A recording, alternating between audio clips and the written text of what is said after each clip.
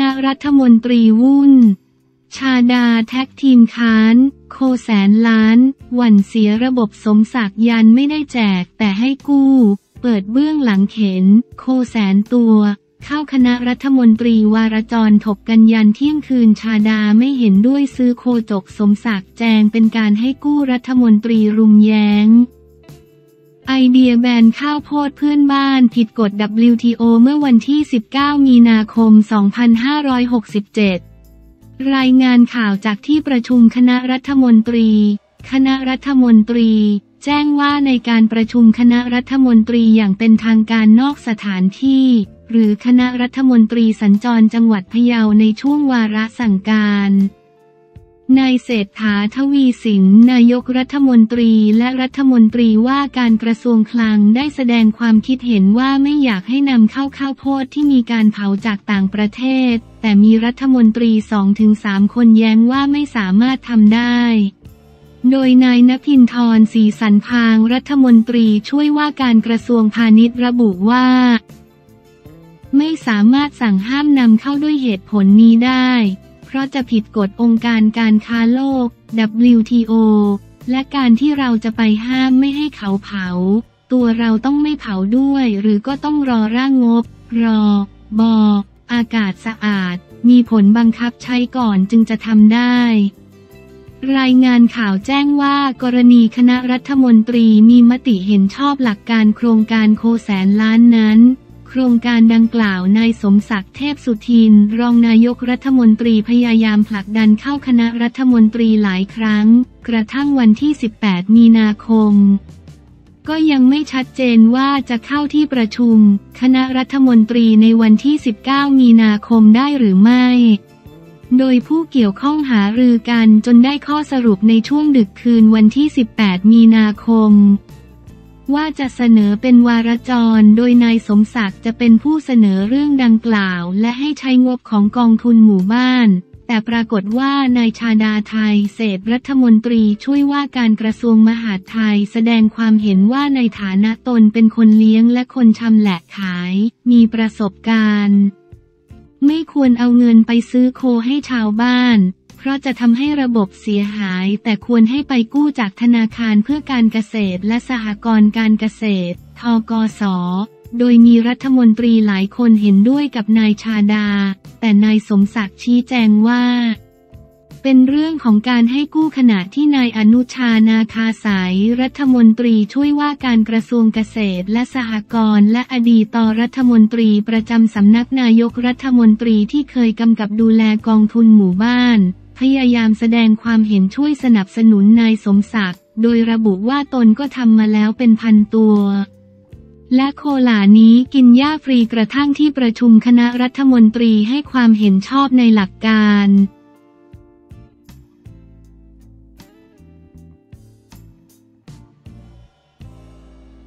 จูบชีวิตที่จริงใจ Kiss of Life ทำถึง โชว์เจ็ดเพลงฉ่ำคิดซี่ไทย ใจเหลวคุ้มค่าตาเนื้อจูบชีวิตที่จริงใจ Kiss of Life ทำถึง โชว์เจ็ดเพลงฉ่ำเกินสเกลแฟนมีตติ้ง KISSY ไทย ใจเหลวไม่เหลือเผื่อใครคุ้มค่าตาเนื้อชมท่าแมลงก้นกระดกแบบสดๆคือความคุ้มค่าของตาเนื้อคือเต็มอิ่มหัวใจทุกวินาทีจริง ๆ สำหรับแฟนมีตติ้งครั้งแรกที่ประเทศไทยของ Kiss of Life Kiss of Life หรือชื่อย่อ KIOF เกิร์ลกรุ๊ปน้องใหม่แต่เดบิวต์มาเป็นตัวมัมเรียบร้อยทั้งสี่สาวนำโดยจูลี่ จูเลีย นัตตี้ นัตตี้ เบล เบล และฮานึล ฮานึล rookie ปีศาจที่กวาด 9 รางวัลมาครองแบบฉ่ำๆหลังเดบิวต์เพียงไม่ถึง 1 ปี ศิลปินในสังกัด S2 Entertainment S2 Entertainment ประเทศเกาหลีใต้งานนี้ 4 สาวขน energy ความน่ารักแต่เผ็ดแซบมาร้องเล่นเต้นโชว์เจ็ดเพลงฉ่ำเกินสเกลแฟนมีติ้งในงาน Kiss of Life Dear KISSY First Fan Meeting in Bangkok Kiss of Life Dear KISSY 1st Fan Meeting in Bangkok เครื่องหมายสี่เหลี่ยม KissOfLife ขีดล่าง Dear KISSY ขีดล่าง BKK ทำเอาเหล่าคิดซี่ KISSY ชื่อแฟนคลับ ได้ฟินครบรสกันแบบจุกๆ เมื่อวันอาทิตย์ที่วันที่ 17 มีนาคม 2567 ที่ผ่านมาณ แจ้งวัฒนะฮอลล์ เซ็นทรัลแจ้งวัฒนะ ผลงานทำถึงอีกครั้งโดยผู้จัด Four One One Entertainment ของ Big Boss กึ้งเฉลิมชัย มหากิจสิริ มัดใจ KISSY ไทยตั้งแต่สเตจแรกกันไปเลย เมื่อสี่สาวระเบิดต่อมความคิดถึงด้วยเพลงแรก Bad News เรียกเสียงกรี๊ดต้อนรับอย่างล้นหลาม เปิดฉากงานแฟนมีตติ้งสมมงตัวมัม โดยมีดีเจนุ้ยธนวัฒน์รับหน้าพิธีกรร่วมด้วยเจเบบี้ฟู้ดล่ามของงานก่อนจะให้สาวๆ ได้ทักทายแฟนๆ อย่างเป็นทางการ สวัสดีค่ะพวกเรา Kiss of Life ค่ะ จูลี่นัตตี้เบลฮานึลแนะนำตัวอย่างน่ารักและเป็นกันเอง หลังจากไม่ได้เจอกันนาน สาวสาวจูบชีวิตเลยมาบอกเล่าผ่านพาดหัวข่าวเก๋เก๋ KIOF News ดังเช่นพาดหัวข่าวแรก คุยกันถึงเรื่องที่อินมากในช่วงนี้ ทั้งสี่สาวตอบเป็นเสียงเดียวกันว่ากำลังอินกับการคัมแบ็กที่กำลังจะเกิดขึ้นในวันที่ 3 เมษายนนี้กับ1st single album Midas Touch มักเน่ฮานึลยังเสริมอีกว่าช่วงนี้อินกับ KISSY ด้วยได้ใจไปเต็มเต็มๆหลังจากนั้นสี่สาวจูบชีวิต boost energy เต็มสูบให้เหล่า KISSY ด้วยเพลงที่ทุกคนรอคอยจะได้ดูสดสดๆเป็นบุญตาสักครั้งกับ Nobody Knows ที่มาพร้อมออร่าและ performance สุดปังทำเอาผู้ชมตายเรียบกับท่าแมลงก้นกระดกจึ้งสุดใจ ต่อเนื่องด้วยเซอร์ไพรส์ไฟลุกพึบกับ dance performance ที่มาทั้ง Pink Venom ของรุ่นพี่แบล็คพิงและ Freaky Deaky by Tyga Doja Cat เตรียมมาให้ KISSY ไทย โดยเฉพาะขึ้นชื่อว่างาน fan meet จะขาดเกมที่เติมเต็มอรรถรสความสนุกไปไม่ได้ งานนี้สาวสาว Kiss of Life จัดมา 4 เกมฟินฟินเริ่มจาก Look at Me Remove Paper by Dance Who's the Spy และ Find Me the Song in the Song แต่ละเกมล้วนโชว์ให้เห็นถึงไหวพริบและความน่ารักเฉพาะตัวของ member จูบชีวิตแต่ละคนเป็นอย่างดี ไม่เพียงแค่ศิลปินที่มอบพลังงานดีๆ ให้แฟนคลับ เพราะฝั่ง KISSY เองก็มีของขวัญเตรียมไว้ให้ถึง 4 โปรเจกต์ด้วยการเริ่มด้วย VCR อัดแน่นไปด้วยความรักและแรง support ซึ่งไม่ว่าวันไหน Kiss of Life ก็จะได้รับพลังบวกและกำลังใจจากแฟน ๆ อยู่เสมอ พร้อมกับชูป้ายสโลแกนต้องมา KIOF KISSY K Coach Gilman จอดจา สื่อความหมายลึกซึ้งว่า KIOF KISSY มาเดินบนเส้นทางที่โรยด้วยดอกไม้กันเถอะทำเอาสาวๆอินไปกับข้อความที่พวกเธอเห็นแล้วกรีดทันที นอกจากนี้ยังมีโปรเจกต์ฉลองวันเกิดล่วงหน้าให้แก่สองสาวผู้เกิดในเดือนมีนาคมคือจูลี่และเบลน้ำตาแห่งความซาบซึ้งกลั้นไว้ไม่อยู่แล้วจริง ๆ สี่สาวร้องไห้ด้วยความปลาบปลื้มหลังจากได้รับความรักจากคิสซี่ไทยอย่างท่วมท้น ขนาดฮานิวผู้ไม่เคยร้องไห้ยังบอกว่าไม่คิดเลยว่าตัวเองจะร้องไห้ แต่คิดซี่ไทยก็ทำถึง ปลุกต่อมน้ำตาแห่งความสุขของน้องเล็กให้ไหลออกมาได้ เช่นเดียวกับเบลอีกคนที่ไม่คิดว่าตัวเองจะร้องไห้ แต่เพราะแฟนๆทุกคนส่งพลังมาให้เยอะมากจนสัมผัสได้ พวกเราจะตอบแทนความรักของทุกคนด้วยดนตรีและโชว์ดีๆ ต่อไป รักนะคะ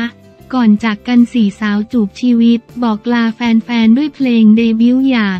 S H H H และ By My Neverland ซึ่งชวนให้นึกถึงเส้นทางฝ่าฟันของพวกเธอ จากวันนั้นจนถึงวันนี้ทุกคนเป็น Kiss of Life ได้อย่างเต็มภาคภูมิจริง ๆ แฟนมีตติ้ง KISSOFLIFE ขีดล่าง Dear KISSY ขีดล่าง BKK ยังไม่จบเพียงเท่านั้น ขอ encore ต่อเวลาแห่งความสุขกันอีกนิด ปิดท้ายของจริงกันที่เพลง Says It พร้อมคลื่นทะเลดวงดาวสีแดงโดยผู้ชมในฮอน อีกหนึ่งโปรเจกต์ที่แฟนคลับจัดให้สาวๆในครั้งนี้ โดยทั้งสี่ member เผยความรู้สึกที่ได้ใช้เวลาร่วมกับ KISSY ไทยอย่างสุดซึ้ง ถึงแม้จะไม่ใช่การมากรุงเทพมหานครครั้งแรก แต่ก็เป็นการมาพร้อม fan meeting ครั้งแรก และน่าจะเพราะสาเหตุนี้ที่ทำให้สาวๆ ปล่อยพลัง ความรักและ passion จัดเต็มแบบไม่มีกักเลย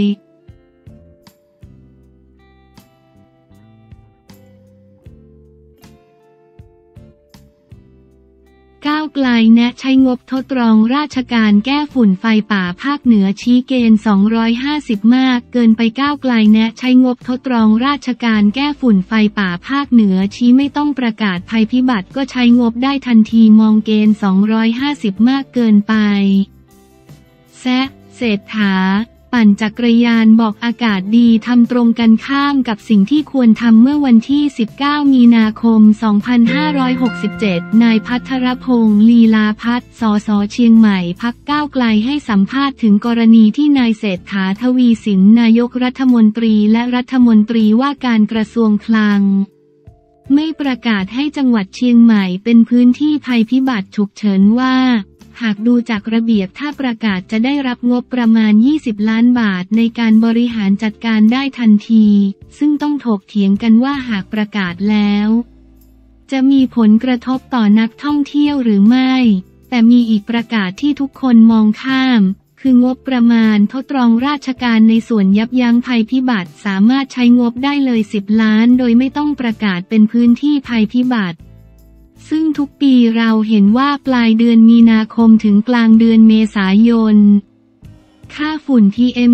2.5 จะสูงที่สุดในภาคเหนือรวมถึงจังหวัดเชียงใหม่ส่วนนี้ผู้ว่าราชการจังหวัดอนุมัติได้เลย เมื่อถามว่าควรเป็นภัยพิบัติหรือไม่ เนื่องจากสื่อต่างประเทศเสนอข่าวว่าจังหวัดเชียงใหม่มีมลพิษทางอากาศสูงเป็นอันดับหนึ่ง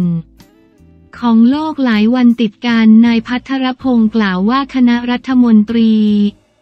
มีมติเห็นชอบให้ประกาศพื้นที่ที่จะได้รับความช่วยเหลือด้านสาธารณภัยก็ต่อเมื่อให้พื้นที่ มีค่า PM 2.5 เกิน 250 ไมโครกรัมต่อลูกบาทเมตร เกิน 24 ชั่วโมง ซึ่งปัจจุบันยังไม่มีจุดไหนเกิน ต้องตั้งคำถามว่าเกณฑ์ที่ตั้งขึ้นมา สูงเกินไปหรือไม่ เพราะจากข้อมูลในอดีตพื้นที่ที่จะถูกประกาศเป็นภัยพิบัติมีน้อยมาก เมื่อไหร่เราจะยอมรับว่า PM 2.5 เป็นภัยพิบัติ และไม่จำเป็นต้องมีค่าถึง 250 เพราะค่ามาตรฐานที่เรากำหนดไว้โดยคณะกรรมการสิ่งแวดล้อมแห่งชาติ ตั้งไว้แค่ 337.5 เราควรปรับเกณฑ์ในส่วนนี้ นายพัทรพงศ์กล่าวนายพัทรพงศ์กล่าวต่อว่า ส่วนกระทบการท่องเที่ยวหรือไม่นั้น เรื่องดังกล่าวเกิดขึ้นในภาคเหนือมาเป็นสิบปีแล้ว ซึ่งนักท่องเที่ยวจะเลี่ยงมาท่องเที่ยวในช่วงนี้ต้องยอมรับว่ามีผลกระทบต่อการท่องเที่ยวอยู่แล้ว อยู่ที่ว่าจะยอมรับหรือไม่การประกาศภัยพิบัติไม่ได้มีผลต่อการใช้งบเพียงอย่างเดียว แต่เป็นการสร้างความตระหนักให้แก่ประชาชนด้วย รัฐขาดส่วนนี้อย่างชัดเจน เราต้องสร้างความตระหนักให้กับประชาชนจนไม่มองว่าภาวะฝุ่นควันเป็น new normal เพราะปัจจุบันประชาชนเริ่มยอมจำนน ไม่ป้องกันตัว เพราะคิดว่าเป็นเรื่องปกติที่ต้องเกิด รวมถึงต้องไม่รณรงค์ในทางที่ผิดแล้ว อย่างเช่น ภาพนายกรัฐมนตรีไปปั่นจักรยานแล้วบอกว่าอากาศดี แม้กระทั่งกินข้าวเอาดอแล้วบอกว่าอากาศดีจังที่เชียงใหม่ ซึ่งเป็นการกระทำที่ตรงกันข้ามกับสิ่งที่เราควรจะทำ นายพัทรพงศ์กล่าว เมื่อถามว่าควรจะแก้ไขอย่างไรในระยะสั้นรวมถึงระยะยาว นายพัทรพงศ์กล่าวว่า แผนป้องกันบรรเทาสาธารณภัยจะมีศูนย์ตอบโต้ภาวะฉุกเฉินด้านสาธารณสุข ที่แต่ละจังหวัดจะมีนายแพทย์สาธารณสุขจังหวัด สสจ เป็นผู้รับผิดชอบตรงนี้ต้องชัดเจนว่าในปีนี้เราจะบริหารจัดการอย่างไร เพื่อให้กลุ่มเปราะบางหรือประชาชนที่ได้รับผลกระทบต่อสุขภาพได้รับการรักษาอย่างเท่าเทียมและรวดเร็ว รวมถึงจะตรวจสอบผู้ป่วยที่เสี่ยงต่อการเป็นมะเร็งปอดอย่างไร เพราะรัฐบาลมีเป้าหมายที่จะลดผู้ป่วยที่เกี่ยวข้องกับปอดให้เหลือแค่ 10% แต่ปัจจุบันในจังหวัดเชียงใหม่ทำได้เพียง 17%ในส่วนงบประมาณชัดเจนเรื่องไฟป่า ปัจจุบันพื้นที่ป่าแบ่งออกเป็นพื้นที่ป่าไม้และพื้นที่ของอุทยาน แต่พื้นที่ป่าไม้ถูกโอนให้กับท้องถิ่นไปหมดแล้ว แต่ท้องถิ่นไม่มีเงิน งบประมาณที่ขอผ่านกรมส่งเสริมองค์กรปกครองส่วนท้องถิ่นก็ไม่ได้ตามที่ตั้งไว้ ชัดเจนว่ามีแต่ภารกิจให้กับท้องถิ่นแต่ไม่มีเงิน ในส่วนนี้เราอาจต้องหาทางเข้าช่วยเหลือเพื่อให้ได้รับงบประมาณในการแก้ไขปัญหา